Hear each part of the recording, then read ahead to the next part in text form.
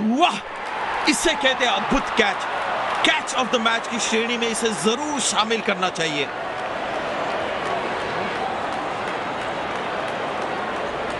बल्लेबाज पेविलियन का लंबा रास्ता तय करते हुए।